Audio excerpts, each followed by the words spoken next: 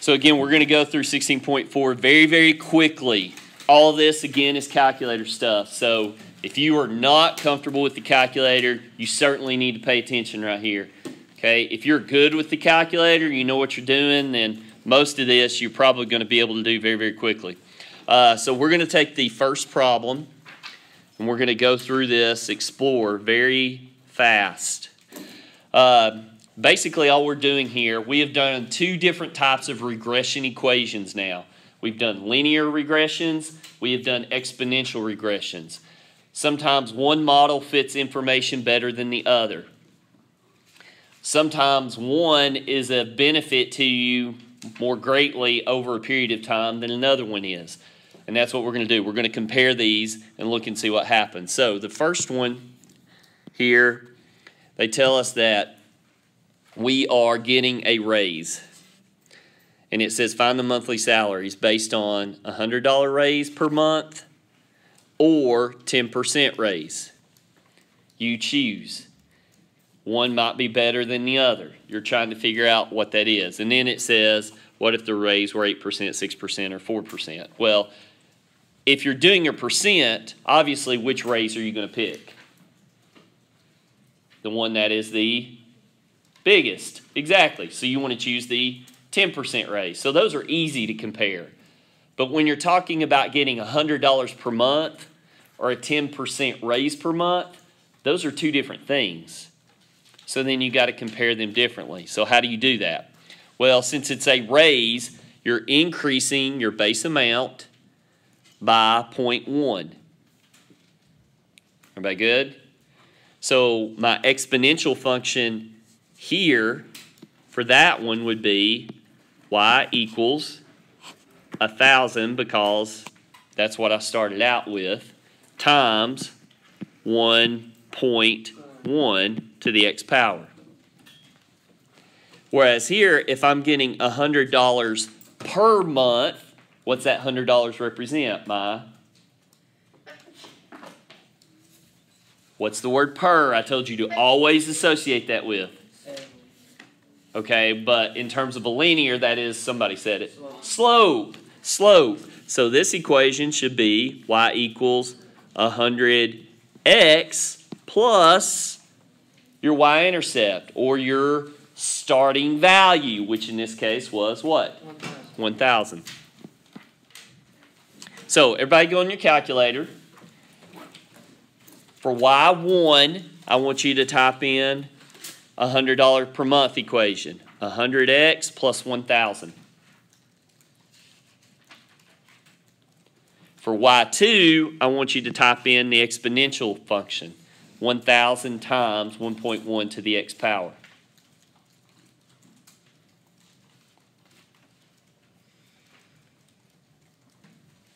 Next, you want to go to second window, your table set. You want to start at zero. Your delta table is going up by ones. You want to have them both on auto. Then do second graph to go to your window. Now we can plug these values in. So here, this one's pretty easy. If you're getting $100 a month, then in month two, I'm going to make how much?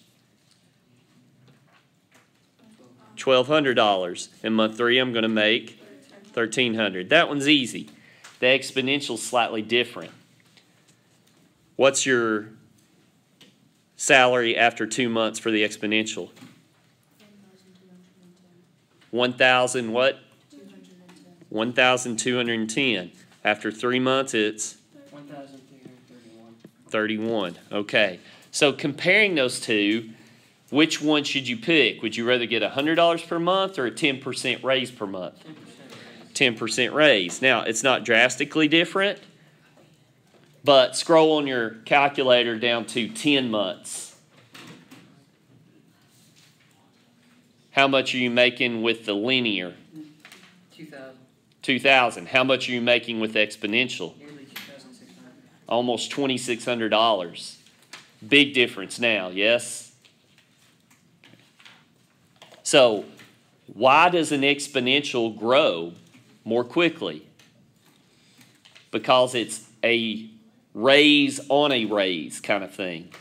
It's a percentage increase based on the previous amount. Well, as the previous amount grows, then your next amount's going to grow even more. We called it earlier in the year like compound error. When you round and you keep rounding and keep rounding and keep rounding, it creates a greater error. Well, the same is true here for any kind of exponential function. When something grows, as it grows exponentially, it grows faster and faster and faster, more so than a linear.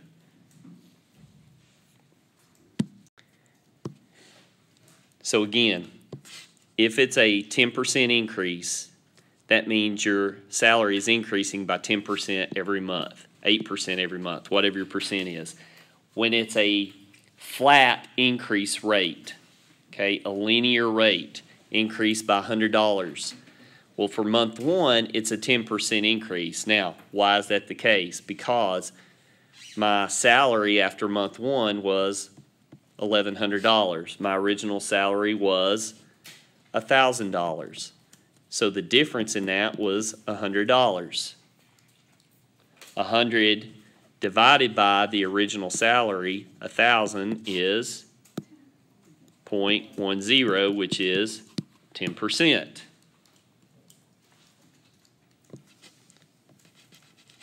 However, that's not going to be the case the second time.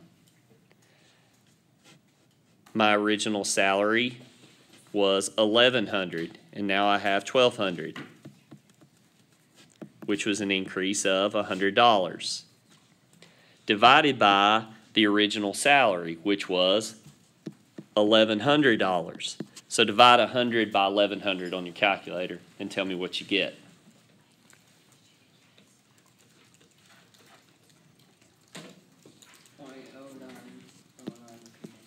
oh nine nine 09 repeating. repeating, right?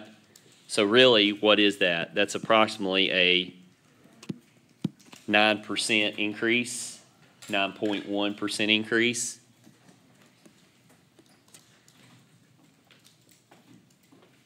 Then what would happen? Well, the next time then, it's still a $100 increase, but now that's based on a starting salary that was $1,200. So what's 100 divided by 1,200?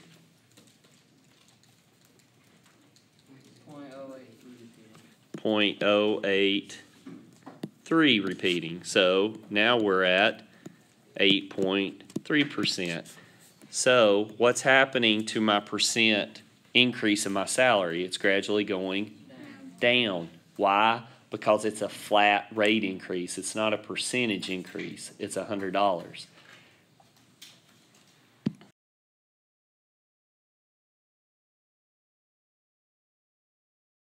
We go, we want to go right to comparing a linear versus an, versus an exponential.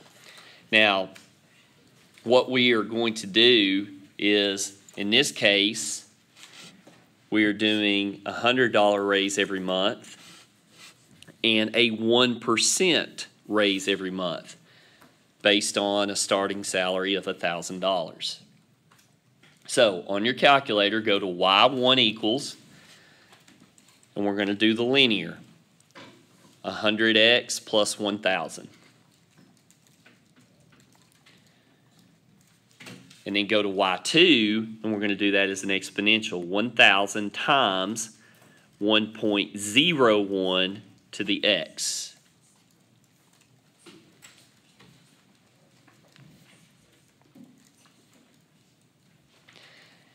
Now, graphically, this is what they've gotten on their calculators. Now, how in the world did that happen? Well, what we've got to do is we've got to think about a window to be able to view this. So let's think logically. X here is talking about months. So if I go to my window, what do I want my X min to be? Zero. Can't have a negative number of months. What do I want my X max to be? I have no clue. I have no clue because I have no idea where this intersection occurs. So here's how I'm going to walk you through how you determine this on a calculator. Let's just start with X max as 100 and do your X scale by tens.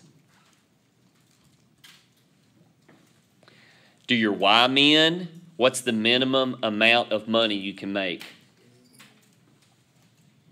For this problem, it's One thousand. $1,000. So make, make your Y min a 1000 Now, again, I have no idea where this occurs. I don't know what that Y max is. No clue.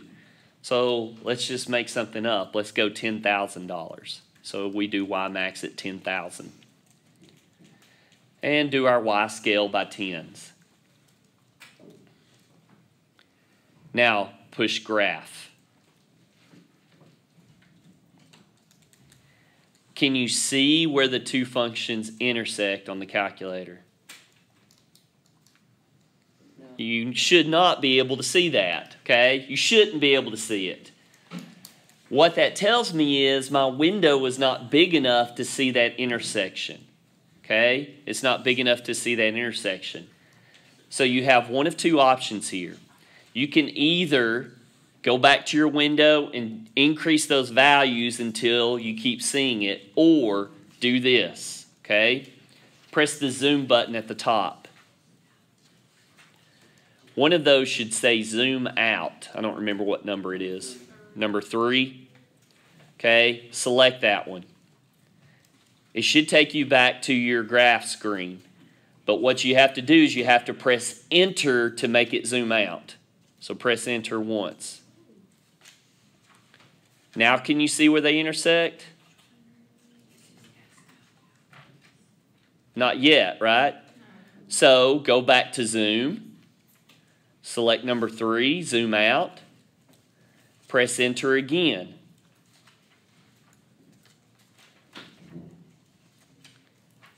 Now, can you see where they intersect? Yes. Okay. So once you see where they intersect, now we can find the point of intersection by going to second trace, calculate, which is, what is it, number five intersection? Select that, and then you press enter how many times? Three times.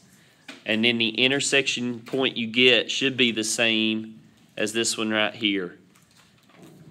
363.96 and a Y of 37,396.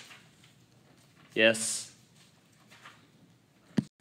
Logically, right here, what does this represent? Okay, so very easily, the linear function here is greater than the exponential up until what?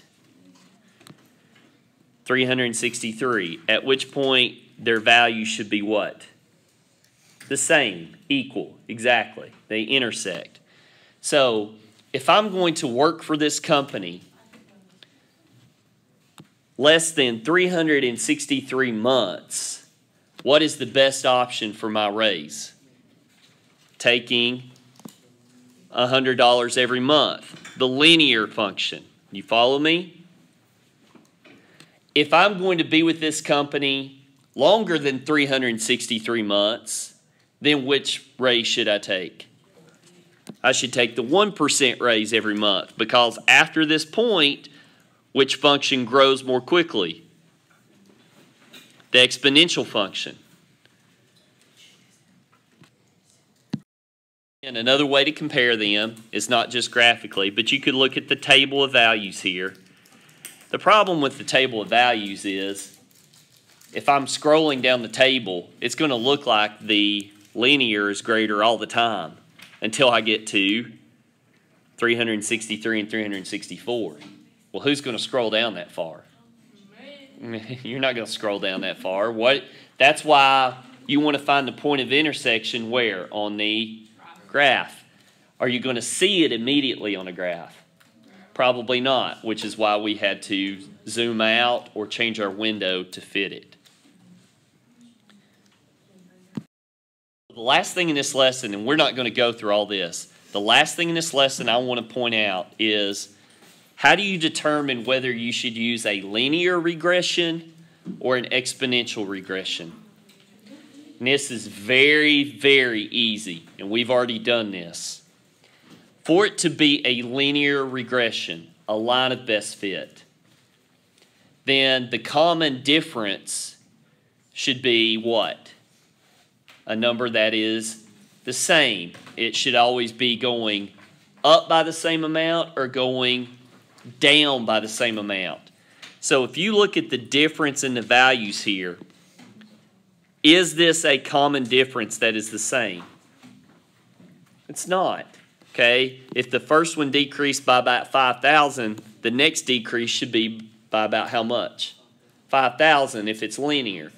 So if it's not, then that means you should use an exponential. And this is all 16.3 was. I would put all of these values in my list.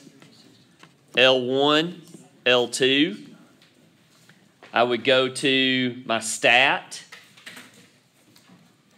go over to calculate, scroll down to number 10 or 0, which says exponential regression, and that's the one I would pick to come up with a exponential equation, this, that fits that data up here. So now we're right back to lesson 16.3. So the other examples, this one, this one's an increasing because why? The values are all growing. Is this a linear? The answer would be no, it's not a linear because if it's linear, what should be true about these numbers? They should be very, very close. They should be going up by the same amount every time. Instead, the values that they increase by are actually growing. So again, what would be the best fit? And Exponential. exponential regression, not a linear regression. So here's the your turn problem. Look again. Here's the difference. Exponential or linear? Should be exponential again. If it were linear, if the increase here was eight and a half, then all of these numbers should be close to what? Eight and a half. Linear is the same increase every time. Okay? The difference here is growing, therefore, an exponential is the best fit. All this factor is, is taking the current difference value and dividing it by the previous one. Well, since these stay the same, that is what is known as our common ratio or our what value? What's another name for our common ratio? Or variable. What variable is it? Hmm. It is our b. If b is greater than 1, what's the function doing? It's growing. It's growing. So if this is our common ratio, then what should be happening here? They are they're increasing. It's just not a linear increase, it's an exponential increase.